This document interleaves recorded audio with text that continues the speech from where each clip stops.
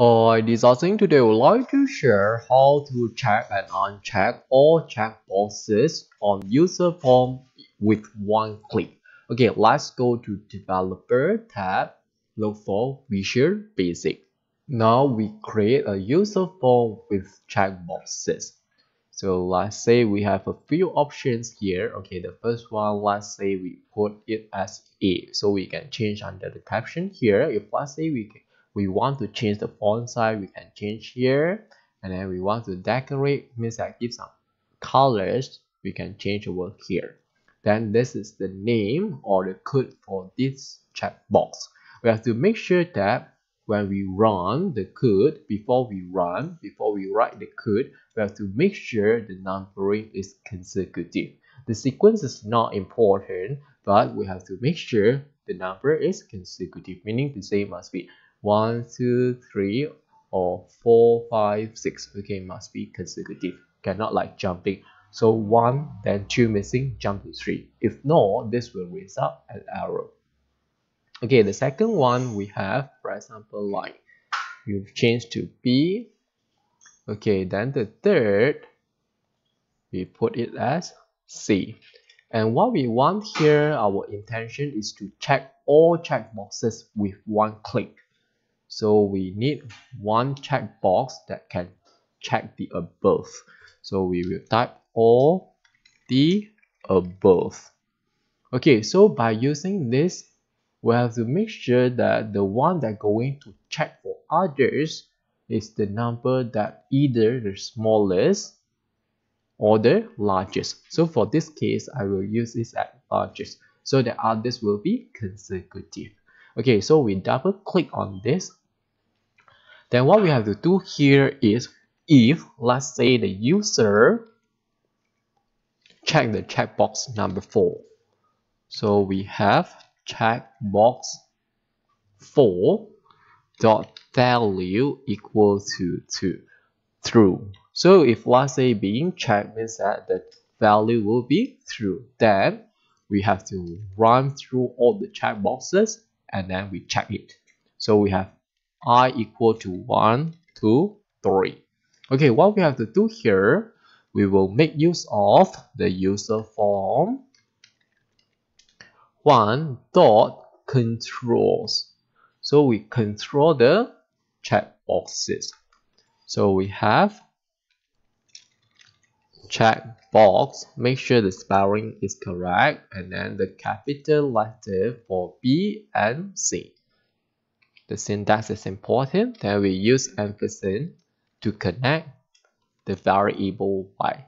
We don't write the user form checkbox over here because we want to run the checkboxes using the variable i. So we have to use controls.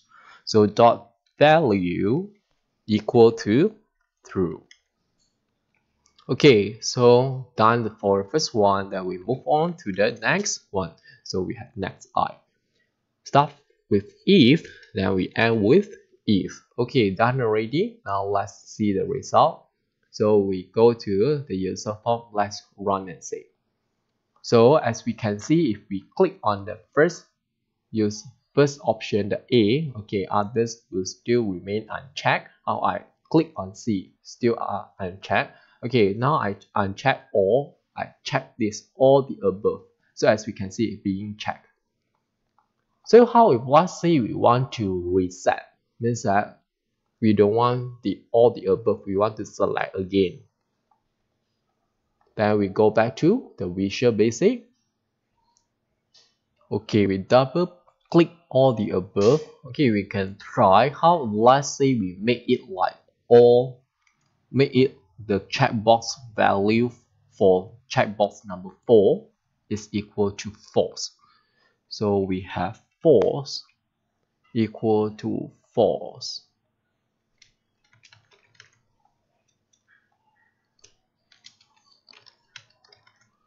Okay, so we run and see.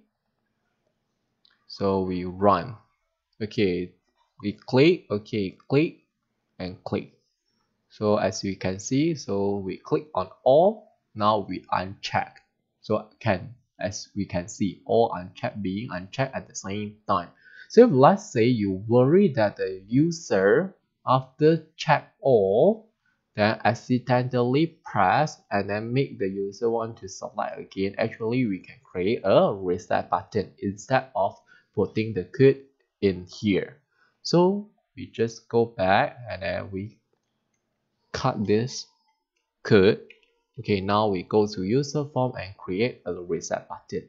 So click on insert command button. Okay let's say we go to caption and change to reset.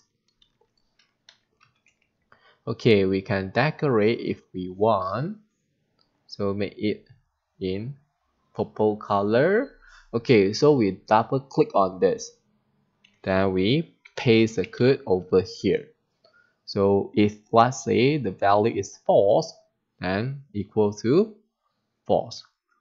So or we can straight away just make it reset means that everything back to origin before we select anything. So we just run from the first to the fourth. Okay then we'll do. Okay so we go back to user form and then we run and see. So we have one by one. Okay all at the same time. Even I click here now as we can see no more learn no more like uncheck all at the same time. So we click on uh, reset. Okay everything being reset. Okay that's all for today. Thanks for watching. Hope you like this. See you